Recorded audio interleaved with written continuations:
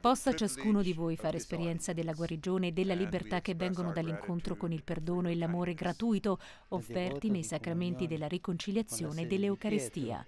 È l'auspicio che Papa Francesco ha rivolto ai membri della Papal Foundation ricevuti in udienza in Vaticano. Il pontefice ha inoltre espresso gratitudine per l'opera dell'organismo tesa a promuovere lo sviluppo integrale della famiglia umana.